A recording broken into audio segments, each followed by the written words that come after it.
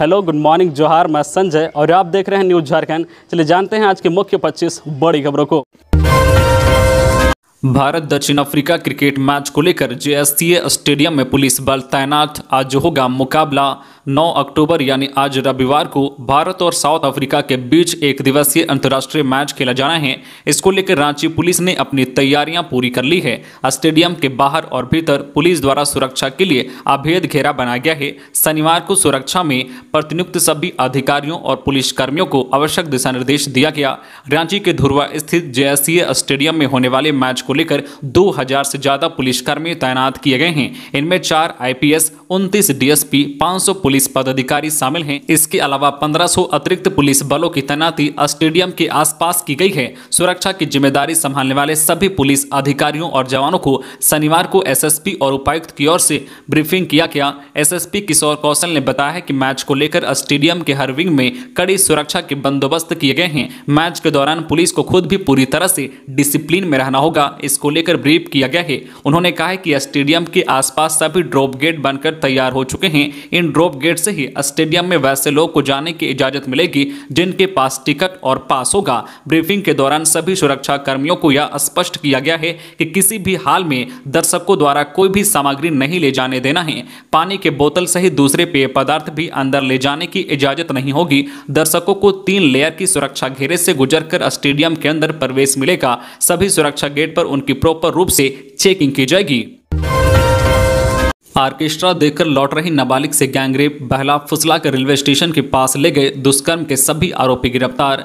रात में आर्केस्ट्रा देखने आई नाबालिग से सात युवकों ने दुष्कर्म किया। घटना लातेहार ज़िले के सदर थाना क्षेत्र की है, जहाँ रेलवे स्टेशन में शुक्रवार की रात आर्केस्ट्रा देकर लौट रही एक नाबालिग युवती के साथ युवकों ने मिलकर सामूहिक दुष्कर्म किया। जानकारी के अनुसार नाबालिग युवती अपने घर से आर्केस्ट्रा देखने लातेहार ज़िले रेलवे स्टेशन आई थी। इसी दौरान कुछ युवक नाबालिग युवती को बहला फुसला रेलवे स्टेशन के पास ले गए और जबरन उसके साथ दुष्कर्म किया। घटना के बाद नाबालिग युवती ने पुलिस में जाकर शिकायत दर्ज कराई। पुलिस ने त्वरित कार्रवाई करते हुए सामूहिक दुष्कर्म में शामिल सभी सात आरोपियों को गिरफ़्तार कर लिया है। इधर पुलिस पीड़िता को इलाज के लिए सदर अस्पताल में भर्ती कराया। मेडिकल जाँच के बाद पीड़िता को परिजनों को सौंप दिया है। बाल विवाह के मामले में झारखंड अव्वल केंद्रीय गृह मंत्रालय के डेमोग्राफिक सैंपल सर्वे की रिपोर्ट खनिज संपदा से परिपूर्ण झारखंड को देश का सबसे अमीर राज्य कहा जाता है। बाल विवाह के मामले में देश पहले नंबर पर है। राष्ट्रीय स्तर पर एक दशमलव नौ फ़ीसदी बेटियों की शादी 18 साल की उम्र से पहले शादी हो जाती है, जबकि झारखंड में यह आंकड़ा पाँच दशमलव आठ फ़ीसदी है। केंद्रीय गृह मंत्रालय के हालिया डेमोग्राफिक सैंपल सर्वे में यह तथ्य सामने आया है। सैंपल सर्वे के मुताबिक केरल में 18 साल से कम उम्र की बेटियों की शादी नहीं होती है, जबकि झारखंड में पाँच दशमलव आठ फ़ीसदी लड़कियों की शादी युवा होने से पहले हो जाती है, राज्य में जितने बाल विवाह होते हैं, उनमें से सात दशमलव तीन प्रतिशत ग्रामीण इलाकों में, जबकि तीन फ़ीसदी शहरी क्षेत्रों में होते हैं, बता दें कि यह सर्वे वर्ष 2020 में कराए गए थे। रांची में भी बारिश की दखल, फिर होगा मज़ा किरकिरा। भारत और साउथ अफ्रीका के बीच वनडे सीरीज़ पर लगातार मौसम की तिरछी नज़र बनी हुई है। लखनऊ में सीरीज़ के पहले मैच में बारिश ने अपना असर दिखाया था और अब रांची में होने वाले दूसरे मैच में भी इसकी दखल देखने को मिल सकती है। आज नौ अक्टूबर को रांची में सीरीज़ का दूसरा मैच खेला जाना है, लेकिन इससे एक दिन पहले, यानी शनिवार को रांची में रुक रुक कर बारिश होती रही। इतना ही नहीं, आज रविवार को भी बारिश का अनुमान जताया गया है। रांची के जे इंटरनेशनल स्टेडियम में आज रविवार को भारतीय टीम तीन मैचों की सीरीज़ में बराबरी करने के लिए उतरेगी। शिखर धवन की कप्तानी में टीम इंडिया पहले मैच में मिली करीबी हार से उबरने की उम्मीद करेगी। अब भारतीय टीम का यह प्रयास सफल होगा या नहीं, ये टीम के प्रदर्शन के अलावा मौसम पर भी निर्भर करेगा। लखनऊ में हुए पहले मैच में भी बारिश के कारण मैच पूरे पचास पचास ओवर का नहीं हो सका था। छह अक्टूबर को हुए इस मुकाबले में करीब सवा दो घंटे की देरी के बाद मुकाबला शुरू हुआ था और सिर्फ़ चालीस चालीस ओवर का मैच हुआ था। यही स्थिति रांची में भी बन सकती है क्योंकि मौसम विभाग का अनुमान है कि आज रविवार को दिन के दूसरे हिस्से में बारिश हो सकती है। खबरों में आगे बढ़ने से पहले आपसे रिक्वेस्ट है कि अगर आप चैनल को सब्सक्राइब नहीं किए तो प्लीज़ चैनल को सब्सक्राइब करके बेल आइकन प्रेस कर दे, जिससे आपको झारखंड की हर छोटी बड़ी खबर का अपडेट आप तक पहुँचता रहे। चलिए बढ़ते हैं खबरों की ओर। बाबूलाल मरांडी ने हेमंत सोरेन को बताया, भ्रष्टाचार का पोषक राज्यपाल से की सीएम को बर्खास्त करने की मांग। झारखंड के पूर्व मुख्यमंत्री और भारतीय जनता पार्टी भाजपा के नेता बाबूलाल मरांडी ने प्रदेश के मुखिया हेमंत सोरेन को भ्रष्टाचार का पोषक बताया है। उन्होंने राज्यपाल से मांग की है कि वे भ्रष्टाचार में लिप्त मुख्यमंत्री हेमंत सोरेन को बर्खास्त करे। झारखंड विधानसभा में भाजपा के नेता बाबूलाल मरांडी ने शनिवार को प्रेस कॉन्फ्रेंस करके मुख्यमंत्री हेमंत सोरेन को कटघरे में खड़ा किया। उन्होंने कहा है कि झारखंड मुक्ति मोर्चा झामुमो की अगुवाई में चल रही यह सरकार भ्रष्टाचार में आकंठ डूबी है। कहा है कि यह सरकार जितने दिन रहेगी, झारखंड राज्य का उतना ही ज़्यादा नुकसान होगा। उन्होंने कहा है कि राज्य को सरकार नहीं, बिचौलिए चला रहे हैं। मुख्यमंत्री आवास, बिचौलियों का आवास बन गया है। पदाधिकारियों से बिचौलिए ही बात करते हैं। ट्रांसफ़र पोस्टिंग, टेंडर का मोल भाव वही करते हैं। झारखंड में एक लाख का इनामी एनएसपीएम का मास्टरमाइंड उमेश गिरी चढ़ा पुलिस के हत्थे हत्या, फिरौती, अपहरण, लूटपाट एवं फायरिंग कर दहशत फैलाने जैसे संगीन अपराधों को अंजाम देने वाले न्यू सशस्त्र जो है पीपुल्स मोर्चा, एनएसपीएम संगठन के मास्टरमाइंड उमेश गिरी उर्फ़ उमेश पांडे को आखिरकार गिरिडीह पुलिस ने बगोदर थाना इलाके के 20 माइल जंगल से गिरफ़्तार कर लिया है। उमेश गिरी का आतंक न सिर्फ़ झारखंड बल्कि बंगाल तक फैला हुआ है। यही कारण है कि उमेश गिरी पर हजारीबाग में एक लाख का इनाम घोषित किया गया था। गिरिडीह एसपी अमित रेणु ने शनिवार को पपरवाटाण स्थित नए समाहरणालय में प्रेस वार्ता कर यह जानकारी दी। गिरिडीह एसपी अमित रेणु ने बताया है कि बदमाश उमेश गिरी को गिरिडीह पुलिस बगोदर थाना इलाके के बीस माइल जंगल से गिरफ़्तार किया है। इसके पास से पुलिस ने दो देसी कट्टा, आठ एम का नौ पीस कारतूस, सात दशमलव पैंसठ एम का चार कारतूस के अलावा पाँच मोबाइल बरामद किया है। उमेश की गिरफ्तारी के बाद न सिर्फ़ गिरिडीह पुलिस, बल्कि कई जिलों की पुलिस ने राहत की सांस ली है।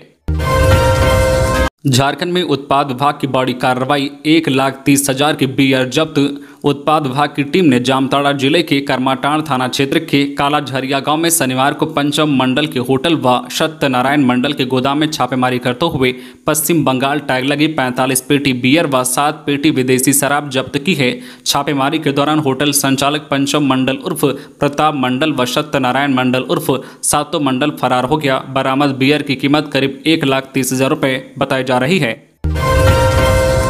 पुलिस की मौजूदगी में दुमका की युवती का हुआ अंतिम संस्कार। जरमुंडी की युवती मारुति कुमारी की हत्या के विरोध में शनिवार को भालकी गाँव के लोगों का गुस्सा फूट पड़ा। आक्रोशितों ने शव को बीच सड़क पर खाट पर रखकर तीन घंटे के लिए दुमका भागलपुर मार्ग जाम कर दिया।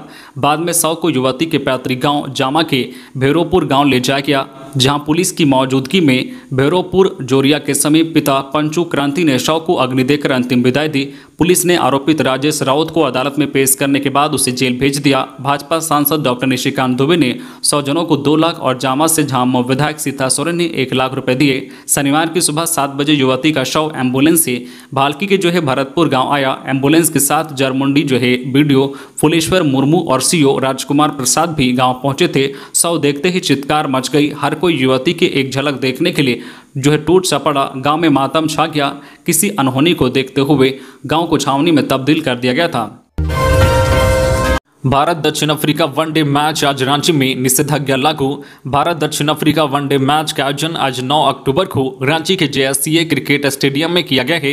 रांची के सदर अनुमंडल दंडाधिकारी दीपक दुबे ने महात्मा गांधी, मेन रोड मार्ग में अल्बर्टेका चौक से सुजाता चौक होते हुए राजेंद्र चौक तक तथा इस मार्ग की दोनों ओर 200 मीटर की दूरी तक धारा एक निषेधाज्ञा लागू कर दी है। यह निषेधाज्ञा आज नौ अक्टूबर की सुबह छह बजे से दस अक्टूबर की सुबह छह बजे तक प्रभावी रहेगी। 9 अक्टूबर, यानी आज रांची के जेएससीएम में अंतर्राष्ट्रीय एक दिवसीय क्रिकेट मैच भारत बनाम दक्षिण अफ्रीका होना है। इसके साथ ही ईद मिलाद उन नबी का पर्व भी है। दोनों आयोजनों में काफ़ी भीड़ होने की संभावनाओं को देखते हुए यातायात व्यवस्था, विधि व्यवस्था तथा सुरक्षा व्यवस्था के दृष्टिकोण व सतर्कता को लेकर निषेधाज्ञा लागू की गई है। जारी आदेश में कहा गया है कि अस्पताल जा रहे मरीज़ के साथ साथ जा रहे व्यक्तियों, विद्यालय एवं महाविद्यालय जाने वाले छात्र छात्राओं हाट बाज़ार होटल, दुकान आए व्यक्तियों, बारात शव यात्रा कर्तव्य पर तैनात सरकारी कर्मचारी, पुलिस बल तथा मैच में जो है सम्मिलित होने वाले खिलाड़ियों, पदाधिकारियों तथा उनके सहयोगियों पर यह लागू नहीं रहेगा। जबकि पाँच या पाँच से अधिक व्यक्तियों का एक जगह जमा होना, रोड पर निकलना या चलने की मनाही होगी। 16 साल के बच्चे पर फेंका गया एसिड। रेलवे स्टेशन पर सो रहा था सुनील। अचानक चेहरे पर तेज जलन के बाद हुआ अस्पताल में भर्ती। सोते हुए 16 साल के बच्चे पर किसी ने एसिड फेंक दिया। इस घटना में उसका चेहरा गंभीर रूप से जल गया। घटना डाल्टनगंज रेलवे स्टेशन के पूछताछ काउंटर के पास की है, जहाँ वह सो रहा था। पीड़ित सुनील यादव के पिता लेशलीगंज थाना क्षेत्र के चौरा बांसडी गाँव निवासी रघुवीर यादव है। वर्तमान में शहर थाना क्षेत्र के कांदू मोहल्ला में किराए के मकान में पूरे परिवार के साथ रह रहे हैं। बच्चा शुक्रवार को अपने दोस्तों के साथ बरवाडी घूमने गया था। बरवाडी से लौटकर डाल्टनगंज रेलवे स्टेशन के प्लेटफॉर्म नंबर एक पर सो गया। इसी दौरान यह घटना घटी। बच्चे पर एसिड फेंका गया है। इस मामले में डाल्टनगंज रेल थाना की पुलिस छानबीन में जुट गई है।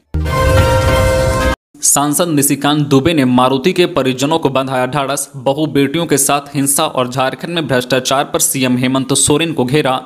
गोड्डा सांसद निशिकांत दुबे ने दुमका पेट्रोल कांड की शिकार मारुति को श्रद्धांजलि दी। सांसद निशिकांत दुबे नौनिहाट पहुँचे, यहाँ से पेट्रोल कांड पीड़िता के परिजनों के घर पहुँचे। यहाँ उन्होंने परिजनों को ढाढ़स बंधाया। इस दौरान उन्होंने झारखंड में बहु बेटियों के साथ हो रही हिंसा के लिए प्रशासन पर नाराज़गी जताई। उन्होंने झारखंड में भ्रष्टाचार पर भी सीएम हेमंत सोरेन को घेरा, साथ ही सीएम हेमंत सोरेन से इस्तीफे की मांग की। उन्होंने मृतक की माँ को दो लाख रुपए की सहायता राशि दी। उन्होंने कहा कि जिस तरह से पहले की दो घटनाओं में भाजपा की ओर से 28 28 लाख रुपए दिए गए। उनके परिवार को भी यह राशि प्रदान की जाएगी।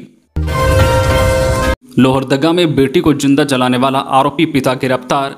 लोहरदगा में पत्नी के अवैध संबंध के संदेह में अपनी चार साल की बेटी को आग के हवाले करने के मामले में पुलिस ने कार्रवाई की है। इस मामले में आरोपी पिता को गिरफ़्तार कर लिया गया है। मामले में पुलिस द्वारा लापरवाही बरते जाने को लेकर जाँच होगी।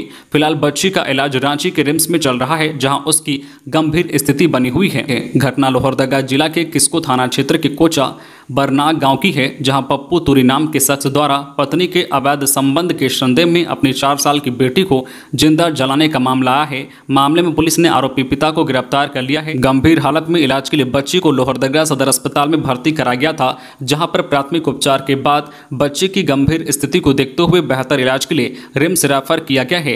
रिम्स में इलाजरत बच्ची की स्थिति गंभीर बनी हुई है। इधर लोहरदगा पुलिस मामले की जाँच और आगे की कार्रवाई में जुट गई है। पलटी ऑटो आठ महिलाएँ घायल। तेज रफ्तार से चल रहा था ऑटो। मोड़ पर खोया नियंत्रण। ऑटो पलटने के बाद ड्राइवर हुआ फरार।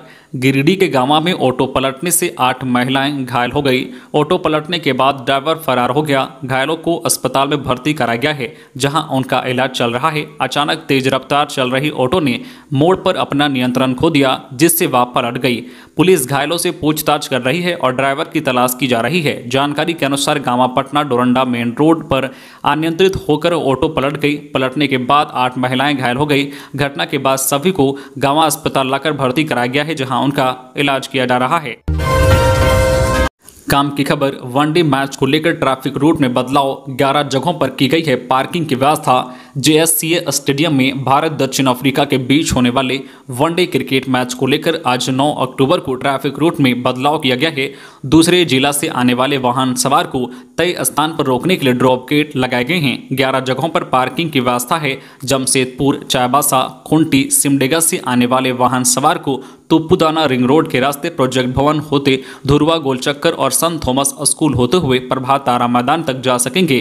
कोडरमा, हजारीबाग, गिरिडीह, रामगढ़ बोकारो, धनबाद लोहरदगा गुमला, पलामू से आने वाले वाहन रिंग रोड होते हुए लॉ यूनिवर्सिटी नयसराय के रास्ते तिरिल मोड़ से सेम्बू प्रभात तारा मैदान तक जा सकते हैं। इसके अलावा मैच समाप्ति के बाद सालीमार बाज़ार मौसी बाड़ी गोलचक्कर एचएससी गेट, बिरसा चौक, हिनो चौक और राजेंद्र चौक के रास्ते में अचानक वाहन सवार की संख्या बढ़ जाने से यातायात प्रभावित होता है। ऐसे में ट्रैफ़िक पुलिस की ओर से सुगम यातायात के लिए वैकल्पिक मार्ग तैयार किया गया है। मैच समाप्ति के बाद चार वैकल्पिक मार्ग से वाहन सवार जा सकते हैं। रातों से आने वाले वाहन सवार पार्किंग स्थल से तिरिल कोटे होते हुए रिंग रोड के रास्ते गंतव्य तक जा सकते हैं। गंगा में समाई किसानों की पाँच हज़ार एकड़ ज़मीन विस्थापितों को मिलेगा घर और दो कट्ठा ज़मीन। साहिबगंज में गंगा नदी का जलस्तर घटने के साथ एक बार फिर से गंगा में कटान तेज हो गया है। बुधवार रात गंगा के करार से करीब 80 फीट तक की नई ज़मीन गंगा में समा गई है। अब नदी की धार कोना गाँव की तरफ़ मुड़ चुकी है। फ़िलहाल अब तक 300 एकड़ ज़मीन गंगा में समा चुकी है। इधर ग्रामीणों को डर सता रहा है कि दर्जनों गाँव गंगा की गोद में न समा जाए। इधर खतरे को भांपते हुए जिला प्रशासन ने लोगों को घर खाली खाली करने का आदेश दिया है। साथ ही विस्थापितों को घर और दो कट्ठा ज़मीन दिलाने का विश्वास दिलाया है। स्थानीय लोगों ने बताया है कि चानन सहित मदन शाही कबूतर खोपी सहित अन्य टोले गंगा कटान की चपेट में हैं। पलामू में हाईवा की चपेट में आया पोकलेन ऑपरेटर, हुई मौत। स्टोन माइंस में हाइवा की चपेट में आने से पोकलेन ऑपरेटर की मौत हो गई है। घटना नौडीहा बाज़ार थाना क्षेत्र के मनन दोहर की है। घटना की सूचना मिलने के बाद मेदिनीनगर टाउन थाने की पुलिस घटनास्थल पर पहुँची और शव को पोस्टमार्टम के लिए भेज दिया। इसके बाद ऑपरेटर के परिजनों का बयान दर्ज कर आगे की कार्रवाई की जा रही है। ऑपरेटर का नाम निरंजन कुमार है। छतरपुर थाना क्षेत्र के कौअल का रहने वाला है। बताया जा रहा है कि चार माह पहले उनकी शादी हुई थी। मिली जानकारी के अनुसार निरंजन शनिवार को अपनी ड्यूटी पर तैनात था और पोकलेन से कुछ दूर खड़ा था। इसी दौरान हाइवा की चपेट में आ गया। स्थानीय लोगों ने बताया कि निरंजन कुमार को कमर और छाती छाती में गंभीर चोट लगी थी। घटना के तत्काल बाद में निराय मेडिकल कॉलेज एंड हॉस्पिटल पहुँचाया गया, जहाँ डॉक्टरों ने उसे मृत घोषित कर दिया। घटना के बाद परिजनों का रो रो कर बुरा हाल है। अमित अग्रवाल को ईडी ने विशेष अदालत में किया पेश। सात दिनों की मिली रिमांड। रांची में होगी पूछताछ। कोलकाता के चर्चित कारोबारी अमित अग्रवाल से अगले सात दिनों तक ईडी के जोनल कार्यालय में पूछताछ होगी। शनिवार को ईडी ने गिरफ़्तार कारोबारी अमित अग्रवाल को कड़ी सुरक्षा व्यवस्था के बीच ईडी की विशेष अदालत में पेश किया, जिसके बाद ईडी ने अदालत से जो कारोबारी अमित अग्रवाल से पूछताछ के लिए दस दिनों की रिमांड की मांग की। हालाँकि अदालत ने सिर्फ़ सात दिनों की रिमांड की अवधि मंजूर की। अमित अग्रवाल को ईडी की टीम ने रांची एयरपोर्ट से शुक्रवार की रात गिरफ़्तार किया था। गोड्डा से टाटानगर के बीच चलेगी साप्ताहिक ट्रेन 22 अक्टूबर से शुभारंभ। दीपावली से पहले झारखंड वासियों को रेलवे बोर्ड की ओर से तोहफा मिला है। रेलवे बोर्ड ने गोड्डा टाटानगर के बीच साप्ताहिक ट्रेन चलाने का निर्णय लिया है। इस ट्रेन का उद्घाटन 22 अक्टूबर को किया जाएगा। इसके बाद टाटानगर रेलवे स्टेशन से सोमवार और गोड्डा रेलवे स्टेशन से मंगलवार को खुलेगी। रेलवे बोर्ड ने इस साप्ताहिक ट्रेन की टाइम टेबल भी जारी कर दी है। रेलवे के अनुसार गोड्डा स्टेशन से प्रत्येक मंगलवार को दिन के बारह बज के चालीस मिनट पर खुलेगी। Hansdiha Mandar hill, Barahat, Bhagalpur, Jamalpur, Kiul, Jhajha, Jasidih, Chittaranjan, Dhanbad, Bokaro steel city होते हुए टाटानगर अगले दिन सुबह छः बज के चालीस मिनट पर पहुंचेगी। वही टाटानगर स्टेशन से प्रत्येक सोमवार को दोपहर एक बज के चालीस मिनट पर खुलेगी और दूसरे दिन सुबह सात बज के बीस मिनट पर गोड्डा पहुंचेगी। झारखंड के लिए नितिन गडकरी का बड़ा ऐलान। पलामू में एन एच बनेगा फोर लेन। खर्च होंगे तेरह सौ नब्बे दशमलव सतहत्तर करोड़ रुपए। झारखंड के लिए केंद्रीय मंत्री नितिन गडकरी ने बड़ा ऐलान किया है। सड़क एवं परिवहन मंत्री नितिन गडकरी ने शनिवार को कहा है कि झारखंड राज्य के पलामू ज़िले में राष्ट्रीय राजमार्ग एन एच को विकसित किया जाएगा। इसके तहत पलामू जिला में जब भोगू गाँव से सांखा गढ़वा रोड को फोर लेन बनाया जाएगा। भोगू गाँव से सांखा तक की दूरी करीब उनचास किलोमीटर है। नितिन गडकरी ने कहा है कि इसके लिए सरकार तेरह सौ नब्बे दशमलव सतहत्तर करोड़ रुपए खर्च करेगी।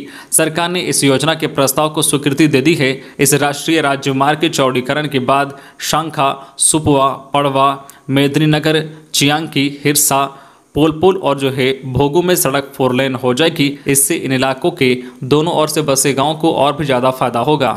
तो ये थी आज की झारखंड की टॉप बड़ी खबरें। इसी तरह झारखंड की हर छोटी बड़ी खबर देखने के लिए आप हमारे चैनल न्यूज़ झारखंड चैनल को सब्सक्राइब करके बेल आइकन प्रेस कर दीजिए, जिससे आपको झारखंड की हर छोटी बड़ी खबर का अपडेट आप तक पहुँचता रहे। तो आज के लिए बस इतना ही। हमें दीजिए इजाज़त। फिर मिलते हैं नेक्स्ट न्यूज़ में।